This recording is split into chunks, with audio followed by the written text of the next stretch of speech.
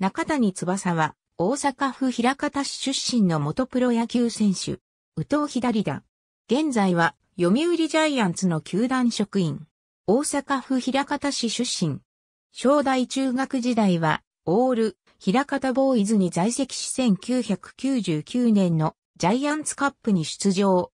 高校は仙台育英校に進学し、2年時には二塁手として第73回選抜高等学校野球大会で準優勝を経験する。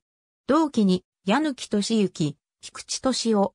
高校卒業後は立命館大学に進学するが1年秋に中退。大学中退後、社会人チームの採用もなかったが、身体をかけて臨んだ四国アイランドリーグの入団テストに合格し、2005年に愛媛マンダリンパイレーツに入団。打率296、本塁打5、打点38と、いずれの部門でもリーグ2位の成績を残す。盗塁は、チームトップの21。二塁手として、ベストナインも獲得。同年の育成選手ドラフト1巡目で、広島東洋カープから指名を受けて入団。背番号128は、愛媛時代の28に100を足したものであった。2007年2月18日の紅白戦で、高橋健から左打者ながらレフトオーバーの二塁打を放つ。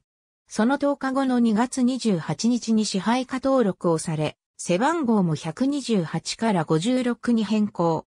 同年5月8日に1軍初出場を果たした。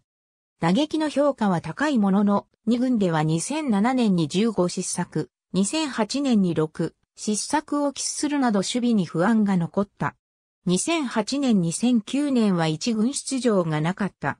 2010年9月25日の阪神戦で初の先発出場を果たした。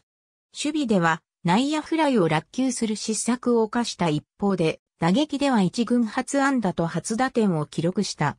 しかし9月末に右肘靭帯を負傷、10月に再建手術を受けて回復まで8ヶ月以上を要すると見込まれた。そのため10月26日に戦力外通告を受け、支配下選手登録を外れた後11月16日に育成選手として再契約した。2013年10月1日付で球団から2度目の戦力外通告を受けた。10月31日、自由契約公示された。現役引退後は、読売ジャイアンツのブルペン保守に転身した。2018年1月1日付で運営部に移動することが発表された。ありがとうございます。